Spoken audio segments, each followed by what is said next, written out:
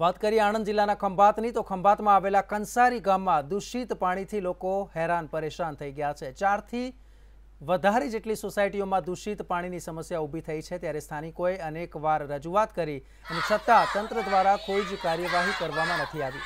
તંત્રની આ બેદરકારીથી ત્રસ્ત લોકોએ માટલા ફોડીને વિરોધ પ્રદર્શન કર્યું હતું.